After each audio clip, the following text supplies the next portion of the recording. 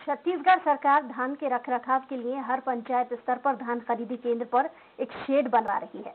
मगर चबूतरा और शेड बनाने के काम में भारी भ्रष्टाचार किया जा रहा है। पखानजूर में भी शेड और चबूतरे के निर्माण में नियमों को ताक पर रखकर घटिया निर्माण किया जा रहा है। दीवारों की चौड़ाई 12 इंच की जगह 9 इंच है। सरिये की हल्की क्वालिटी, घटिया निर्माण सामग्री इस्तेमाल करके गड़बड़ी की जा रही है। जबकि जिम्मेदार अधिकारी कभी काम की क्वालिटी देखने भी नहीं आते हैं। ऐसे में शेड कितने दिन ज़्यादा और टिक पाएँगे, ये लगता नहीं है।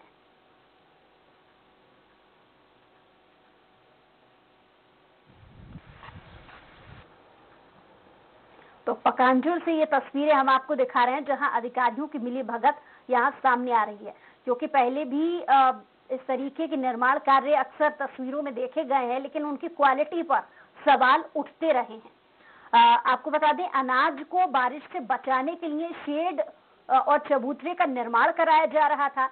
लेकिन शेड और चबूतरे का निर्माण काम किस तरीके से चल रहा है, ये तस्वीरें अपने आप में ज़ाहिर कर रही हैं कि कैसी क्वालिटी का इस्तेमाल यहाँ पर किया जा रहा है और ये कितने समय तक टिक पाएगा।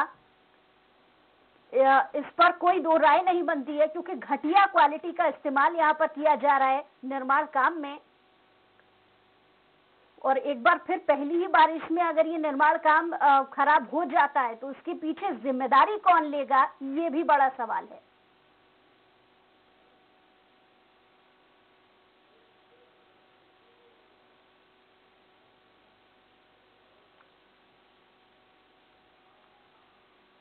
और ज़्यादा जानकारी के साथ स्वराज संवाददाता अमर मंडल फ़ोन लाइन पर जुड़ गए अमर बारिश से बचाने के लिए शेड और चबूतरे का निर्माण जो हो रहा था उसकी तस्वीरें कैसी नज़र आई? क्या अच्छी क्वालिटी का था या खराब क्वालिटी का था? जायजा आप लेने के लिए पहुँचे थे। क्या तस्वीरें थी? जी मैं मैं आपको बताना चाहूँगा जहाँ एक और छत्तीसगढ़ सरकार धान के रख रखाव के लिए लाखों रुपए खर्च करके पंचायत के माध्यम से शेड निर्माण करवा रहा है। वही हम्म। पंचायत के सचिव और सरपंच द्वारा अपने कमीशन के चलते इतनी भ्रष्टाचार किया जा रहा है कि शेड बस नाम मात्र ही बनाया जा रहा है। जिसका ना तो कोई मापदंड ठीक है और ना ही उसका गुणवत्ता ठीक है। शेड को देख के ऐसा लगता है कि मतलब ये साल भर भी नहीं चल पाएगा। इतनी घटिया और निम्न स्तर के निर्माण कार्य किया जा रहा है, सरपंच और सचिव द्वारा। जी। जी, लेकिन जिम्मेदारों से आपने क्योंकि आप पूरी खबर पर जायजा ले रहे हैं, पूरी तहकीकात जानने की कोशिश कर रहे हैं, जिम्मेदारों से आपने बातचीत करने की कोशिश की? जी उनसे बातचीत करने की कोशिश की। उनका ये कहना है कोरोना के चलते हमको लेबर नहीं मिल रहा काम के लोग नहीं मिल रहे जिसके चलते हम ऐसे ही कर रहे हैं करके। मतलब ज़िम्मेदारी के नाम पे वो एकदम वो है उन कोई ज़िम्मेदारी नहीं है उनके अंदर। किस किस से आपने बातचीत की? जी वहाँ के सरपंच से और महोदय और सचिव से जो हमारे कैमरे के सामने कुछ भी बोलने के लिए मना कर दिए। लेकिन उनका द्वारा ये कहना था कि जैसे ही बन रहा है हम आगे जाके उसको ठीक करने की कोशिश करेंगे गुणवत्ता सही करने की कोशिश करेंगे लेकिन कैमरा के सामने कुछ भी बोलने के लिए बचते रहे। जी। यानी इस बात को कहीं ना कहीं वो भी मान रहे हैं कि अगर गड़बड़ी हुई है तो उसे ठीक करने की कोशिश होगी।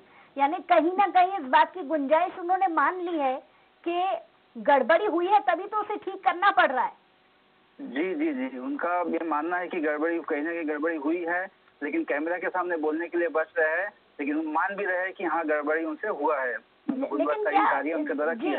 ये जो तस्वीरें हैं ज़ाहिर है कि ये सबको नज़र आ रही हैं लेकिन क्या किसी नुमाइंदे ने अभी तक इस मामले पर यानी संज्ञान में आ जाने के बाद में किसी ने अभी तक कोई आवाज़ नहीं उठाई कोई शिकायत नहीं थी जी नहीं, ग्रामीणों द्वारा सिर्फ़ सरपंच को और सचिव को शिकायत किया गया है, लेकिन सरपंच सचिव की मनमानी इतना चल रहा है कि इसके चलते वो कुछ भी मतलब उसको ध्यान नहीं दे रहा है। और ना ही कोई उच्च अधिकारी इस पर कोई ध्यान दे रहे हैं।